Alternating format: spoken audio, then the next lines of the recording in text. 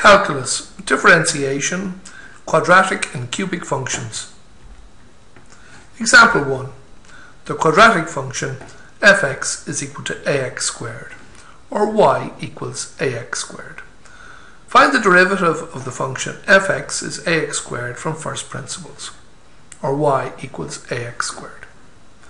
So we'll start now, we write the function, and in place of y, we use y plus delta y. And where we had x, we put in x plus delta x. So y plus delta y is a into x plus delta x squared. And that's x plus delta x times x plus delta x. And multiplying the terms across, we get x by x is x squared, x by delta x is x delta x, delta x by x is x delta x, just rearranging them, and delta x by delta x is delta x squared. So bringing them together, we get our x squared. Our x delta x and our x delta x becomes 2x delta x, and our delta x squared. So that's what y plus delta y is.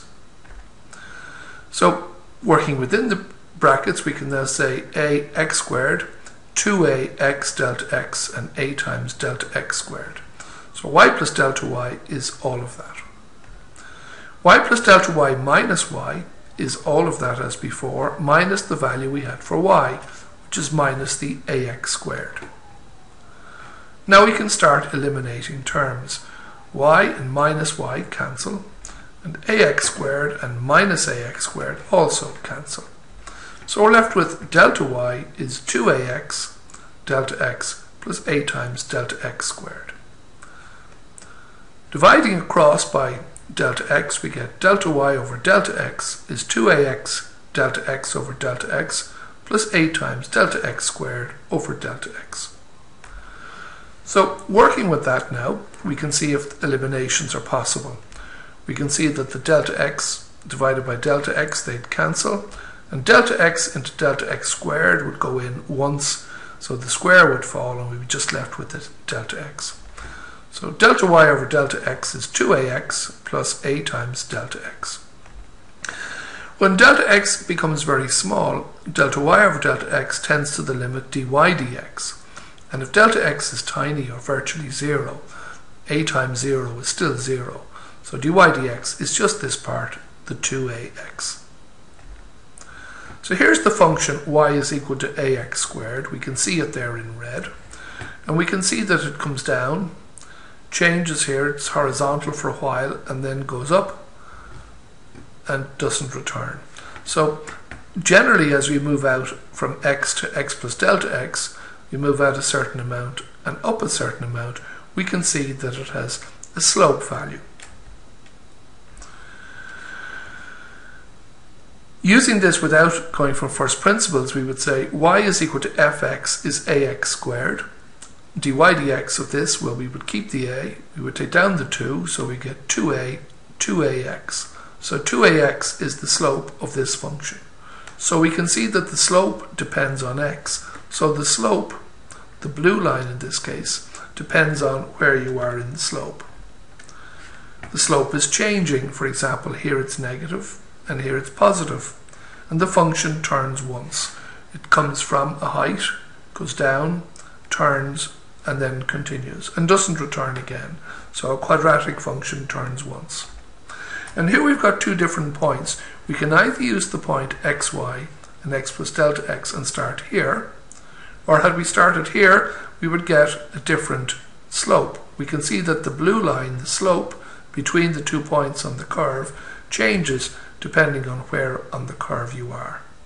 So the slope is changing, the function turns once for a quadratic. Example 2. A cubic function fx is ax cubed. Find the derivative of fx is ax cubed from first principles. And again, we write it as y is ax cubed. So instead of y, we put in y plus delta y, and in place of x, we put in x plus delta x. So y plus delta y is a into x plus delta x to be cubed. And that's quite an expression now to work out. So we've got x plus delta x times x plus delta x times x plus delta x. Now we've done this before, and x plus delta x times x plus delta x turned out to be x squared plus 2x delta x plus delta x squared. We're now going to multiply all of that by x plus delta x. So starting with the first one, we'll get x squared by x is x cubed, x squared by delta x is x squared delta x. Now the second term, 2x delta x by the first term is 2x squared delta x, and the second term by the second term is 2x delta x by delta x is 2x delta x squared. Now the third term, delta x squared by x is x delta x squared, and the third term by the third term, delta x squared by delta x is delta x cubed. So we can start bringing some of these things together. We can see that that x squared delta x and 2x squared delta x gives us the 3x squared delta x and 2x delta x squared and x delta x squared gives us 3x delta x squared. So that's now our function now for y plus delta y. And multiplying the a in, we get y plus delta y is ax cubed plus 3a x squared. a times here gives us 3ax and a times here gives us a delta x cubed. Y plus delta y minus y is exactly the same function minus the value for y, which was the ax cubed, so minus this part at the end. And now we can do some eliminations. The two y's cancel, and the two ax cubes cancel. So we're left with delta y is 3ax squared delta x plus 3ax delta x squared plus a delta x cubed. So here we are rewriting it. And we're going to divide everything now on the left hand side and on the right hand side by delta x. So delta y over delta x is 3ax squared delta x plus 3ax delta x squared plus a delta x cubed over delta x. Or we can split the three terms up. So here, exactly the same, we've just broken it up into its three components. Now we can see if there's eliminations possible. The delta x cancels into the delta x The delta x goes in here into the square just once and into the cubed twice. So we're left with 3ax squared plus 3ax delta x plus a delta x squared. Now as delta x becomes very very tiny this number here goes to zero virtually and zero times anything means that it's really insignificant and here we're multiplying by nearly zero again twice so that becomes insignificant. So in the end, delta y over delta x becomes dy dx, or just this part here, 3ax squared. So here's the example of the cubic. Here's a, a, different one, ax cubed plus bx squared plus cx plus d, a general cubic.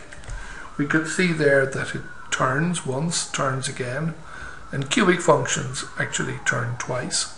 But here's the point xy and x plus delta xy plus delta y. And at this point here, the slope is quite high. The blue line is showing quite a high slope.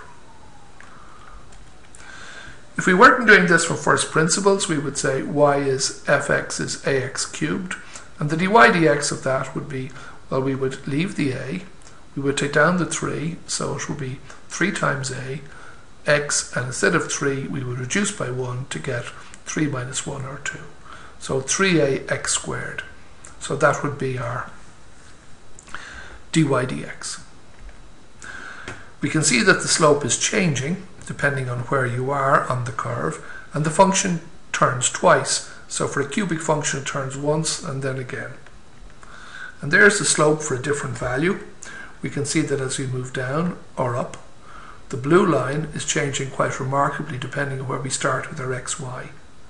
And equally, if we go back further, the slope is actually negative, and then positive, and then increasingly positive.